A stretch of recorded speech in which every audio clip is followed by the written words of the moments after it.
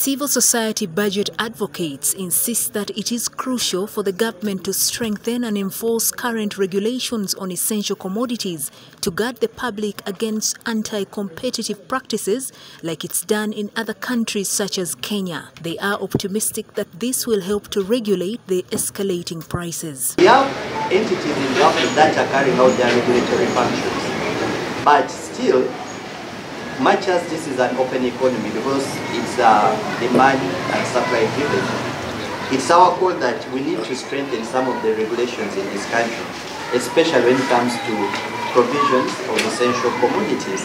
At all we could get this bill before Parliament, if at all we could see the food and nutrition policy being reviewed, it is 20 years old now, being reviewed to respond to the current situation, but also provide being supported with a, a law and eventually an institution.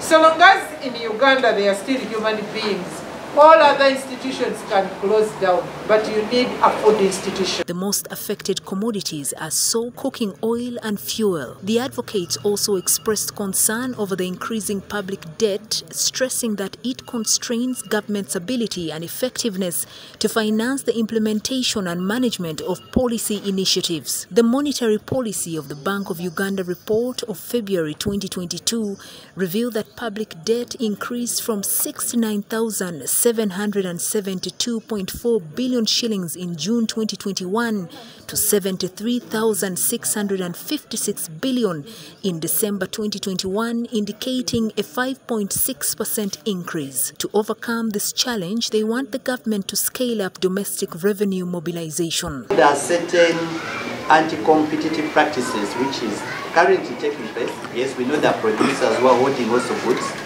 because they intend to benefit from these uh, increment prices.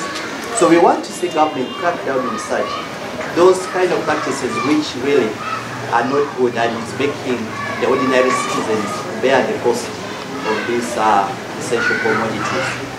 Agnes Kirabo, the executive director of Uganda Food Rights Alliance, says the parish development model will only be successful if the farmers are prioritized. It will be an addition to a strong agricultural extension system where the extension worker is recruited and is facilitated. He reaches out to the farmers in their groups, guide them to use their land, to plant the right seed, to plant it properly, to manage the produce, to hold on stock, to sell properly, sell quality, get the money, pay back the money. We are not seeing that happening.